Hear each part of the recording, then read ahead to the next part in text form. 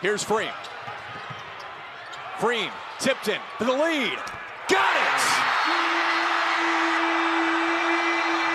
I think they're gonna they're gonna put a little time back on the clock. I think they're gonna probably put about 0.4